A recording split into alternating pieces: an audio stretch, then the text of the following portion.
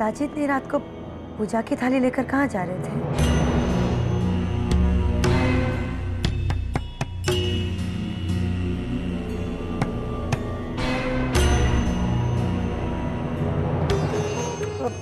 वो कहाँ का पूजा को ले गए हैं? वो तुमऊ और देवर जी ने यहाँ से ना जाने का फैसलो किया है, इसीलिए भगवान के गोद गिरे गए हुए हैं। चलो। रात बहुत हो गई, अब तुम जाकर सो जाओ। लो दूध का गिलास। देवर जी को दे दियो। संभल के।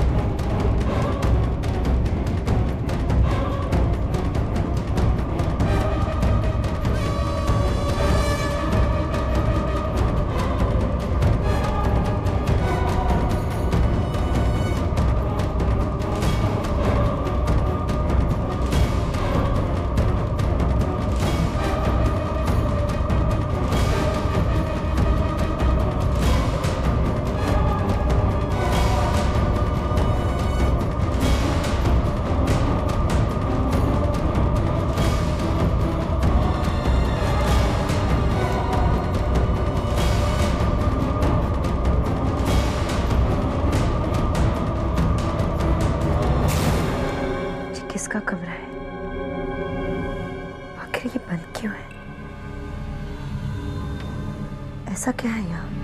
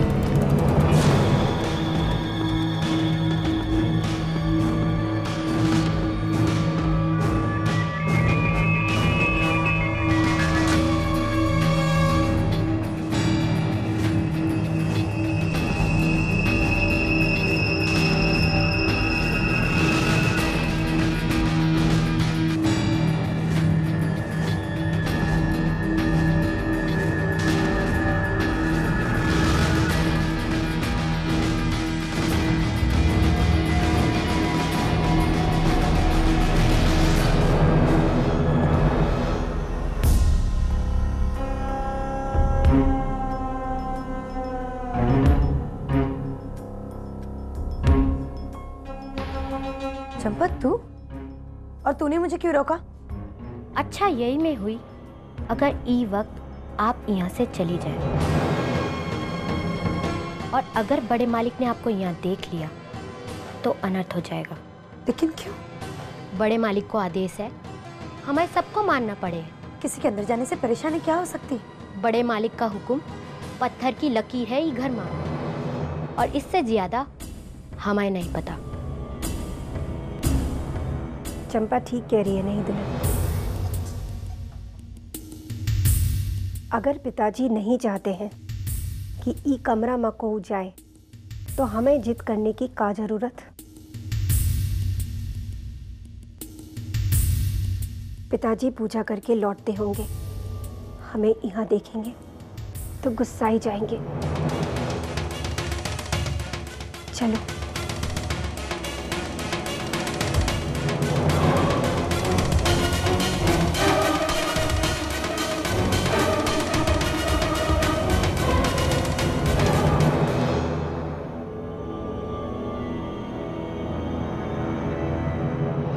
शादी मैंने इसीलिए की है क्योंकि मेरी मॉम चाहती थी। अगर मेरा बस चलता ना तो तुम जैसी लड़की से शादी करना तो दूर। तुम्हारी परछाई भी मेरे ऊपर नहीं पड़ने देता। रस्मों से हम पति पत्नी हैं लेकिन कभी मैं दिल से तुम्हें अपनी पत्नी का दर्जा नहीं दे सकता। आप चेंज कर लीजिए मैं आपके लिए खाना लगाती हूँ तब तक। हाँ प्लीज़ यार इतने बुरे दिन नहीं आए मेरे कि तुम्हारे साथ बैठकर तुम जैसी गवार के हाथ का खाना खाओ। मेरी ज़िंदगी बर्बाद कर दी। तुम्हारे साथ होटल में हरगिज नहीं रुक सकता, समझी तुम? किसी ने अगर मुझे यहाँ तुम्हारे साथ देख लिया तो मज़ाक बन जाएगा मेरा।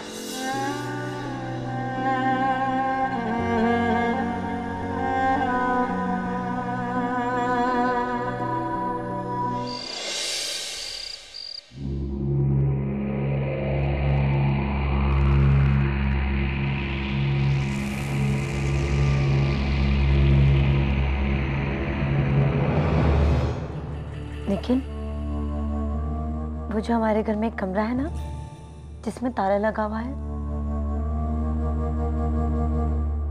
चंपा बता रही थी कि उस कमरे के अंदर किसी को जाने की इजाज़त नहीं है।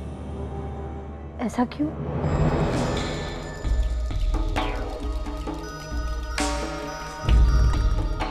ऐसा पिताजी कहती हैं इसलिए। और वहाँ कोई रहता नहीं है।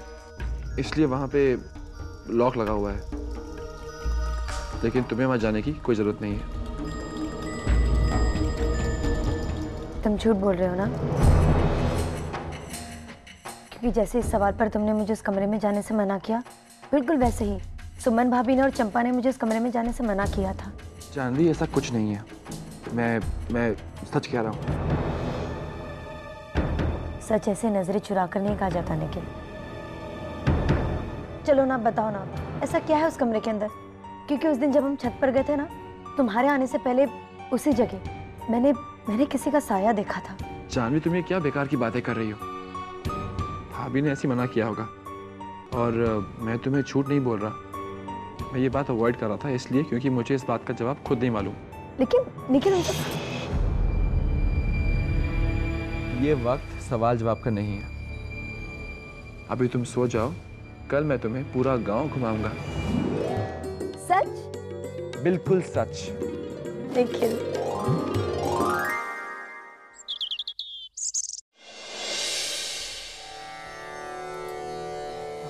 भगवान आज मेरे लिए एक बहुत बड़ा दिन है। मेरी वजह से पापा की जान चली गई।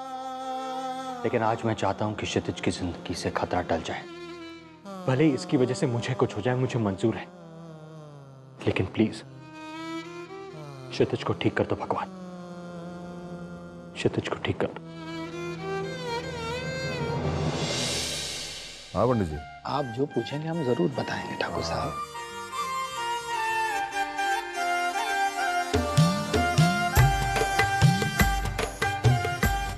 अरे छोटे। आओ। जी। अच्छा तो मैं आ गए। नहीं तो हम बड़ी बहू को भेजने वाले तुम्हारे बुलाने के लिए। नहीं दुल्हन। ये हैं पंडित यमुना प्रसाद त्रिपाठी। हम आए खानदानी पंडित। अरे आशीर्वाद लो। कल्याण हो।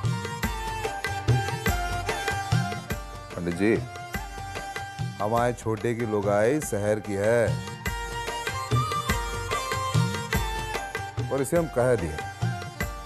कि गाँव में रहना है तो शहर को भूल जाओ। और जे गाँव का कायदा कानून सीख लाओ। सौभाग्यवती समझो अपने आप को नई दुल्हन। जो बड़े ठाकुर के घर की बहू बनने का सौभाग्य मिला। अब बड़े ठाकुर जो कहें, उसे आदेश मानकर चलना। खड़ी खड़ी मुँह का देख रहे नहीं दुल्हन अरे हाथ दिखाओ पंडित जी को।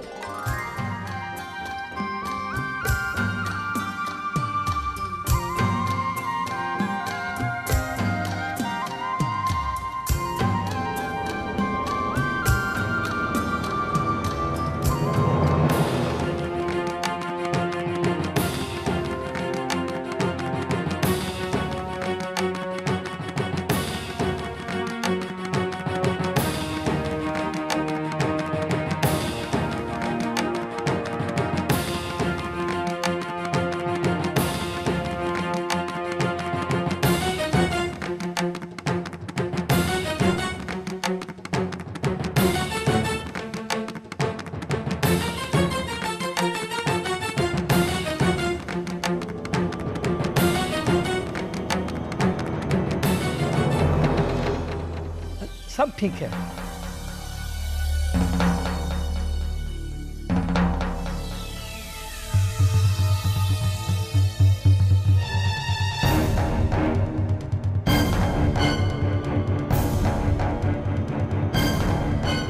कहाँ जा रहे हैं? जी पिताजी जानवी को अपने गाँव और खेत दिखाने ले जा रहा हूँ। हाँ जाओ गाँव की रौनक कहाँ देखी होगी? अब शहर में पली बड़ी है गाँव दिखा दो। जाओ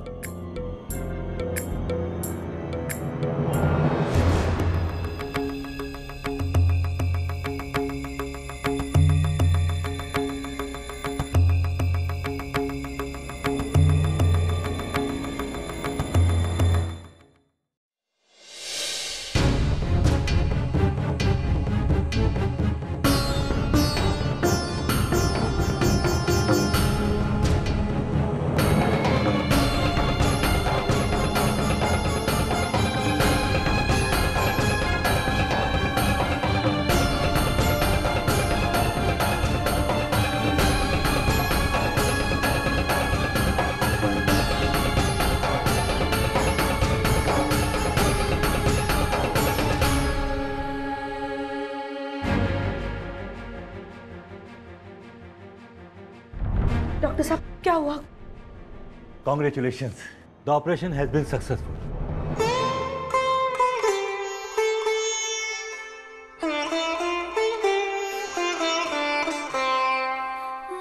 हे ठाकुर जी तेरा लाख लाख शुक्र है। डॉक्टर साहब क्या हम क्षितिज से मिल सकते हैं अभी? नहीं अभी उन्हें आराम करने दीजिए। और भगवान से दुआ कीजिए कि आपके पति की बॉडी दूसरी किडनी को एक्सेप्ट कर सके। ऐसा ही होगा डॉक्टर साहब। भगवान इतना बुरा तो नहीं है कि वो क्षितिज के साथ कुछ गलत करे। डॉक्टर साहब मैं उस इंसान से मिलना चाहती हूँ जिसने क्षितिज को अपनी किडनी दी है। देखिए मैंने आपको पहले भी बताया था कि वो शख्स नहीं चाहता कि उसका नाम सामने आए। देखिए उसने बहुत बड़ा एहसान किया है हम पर। मैं बस उसका शुक्रिया अदा करना चाहती हूँ। एक बार मुझे मिलने दीजिए प्लीज़ डॉक्टर। ठीक है। वो वहाँ उस तरफ़ उस कमरे में है। जाइए और जाके मिल लीजिए।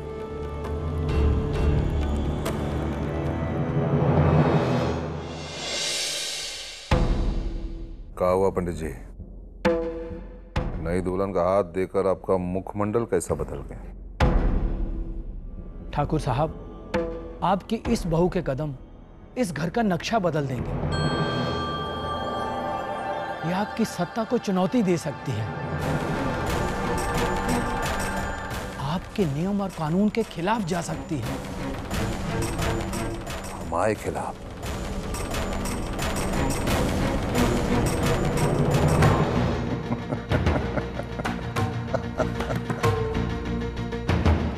हमारे खिलाफ जाएगी ये शहर की मूड़ी अरे पंडित जी ऐसा लगाता है कि हाथ की रेखाएँ पढ़ते पढ़ते आँखें चुंदिया गई हैं आपकी और हम तो वो हैं। देखो आगे भगवान भी आ जाए ना तो वो भी अपना फैसला बदल दे। तो ये शहर की मूड़ी कहा करेगी? ठाकुर साहब मैंने वही बताया जो मैंने पढ़ा।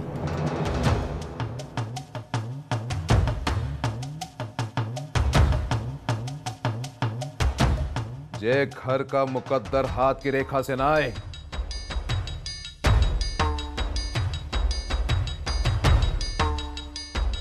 हमारे नियम से लिखा जाता है।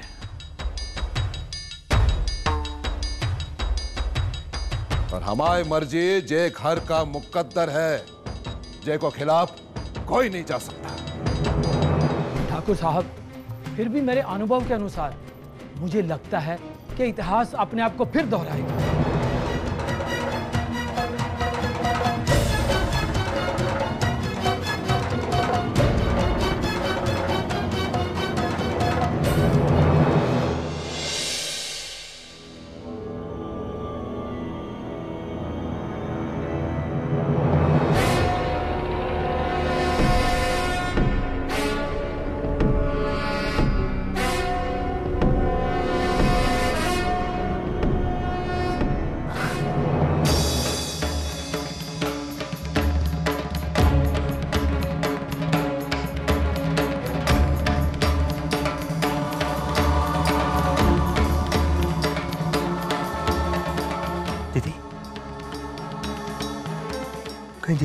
तो नहीं चल गया। क्षितिज को किडनी मैंने डोनेट की।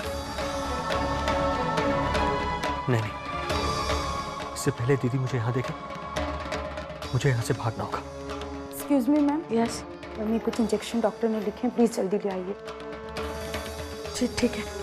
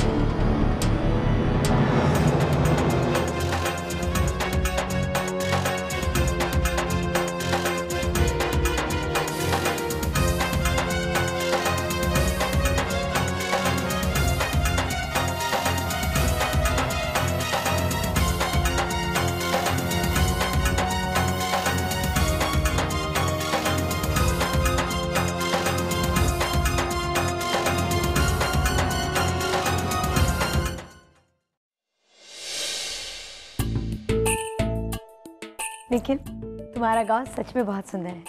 अगर तुम गुस्से में मुझे शहर ले जाते तो तो मैं ये सब कुछ नहीं देख पाती। अच्छा मैंने तुम्हें गाँव दिखाए गाँव के खेत दिखाए। अब तुम प्लीज़ मुझे जल्दी से एक गिलास पानी पिला दो। बहुत प्यास लगी है। ठीक है तुम कमरे में जाके बैठो मैं लेकर आती ठीक है।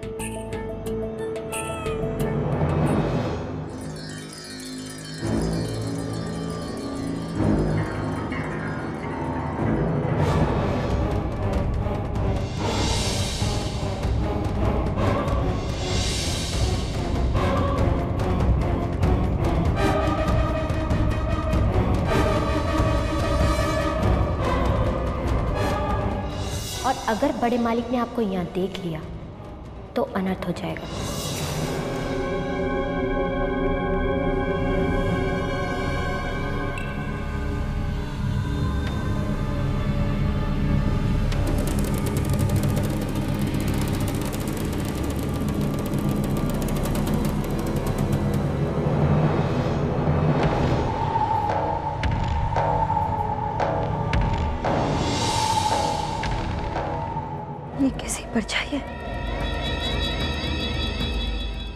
कौन सा राज है जो ये घर वाले मिलकर मुझसे छिपा रहे आज तो इस राज का पता लगा कर ही रहूँगी मैं।